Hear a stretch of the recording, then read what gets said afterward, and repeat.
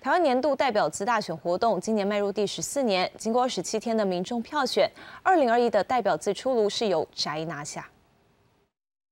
我推荐的代表字是宅，安定的定，安静的静。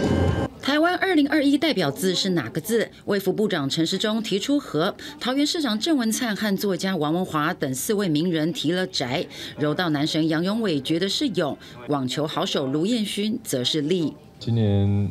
所有的台湾运动员在。国际赛场上的表现非常亮眼，立足台湾，然后在世界发光发热，然后我们台湾防疫的非常好。每个人认为的代表字不尽相同，不过今年持续受疫情影响，尤其五月中进入三级警戒，哪儿都不能去，在家工作之后，本土疫情趋缓，国际间又来了 Omicron，由名人提名的三十六个候选字，这个字在票选时获得八千四百零二票的最高票。请启动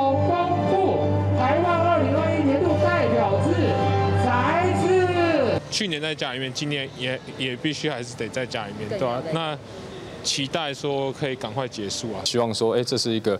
回顾，但是也希望说对明年的一个期盼，希望说能够改变这样子的一个字，希望明年可以更，